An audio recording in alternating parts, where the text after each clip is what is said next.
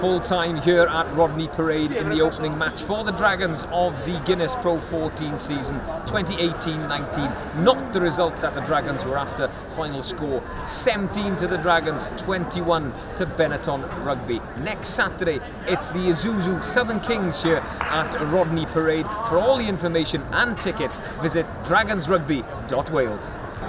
It's and fast now. This is the start of the league this evening, the Guinness Pro 14 pre-season. What was that like? You know, did it go as you wanted it, and then tonight in the opening match didn't go to plan?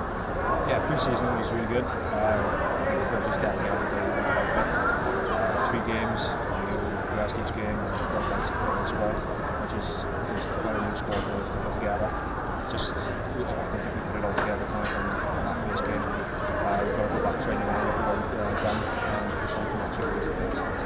Isn't that simple. We've got 14 new faces in here. You're one of them.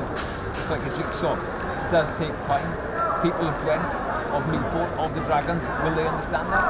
Uh, I hope so. We can't make too many excuses about uh, such a new team because the, boy, the boys uh, brought in uh, last players.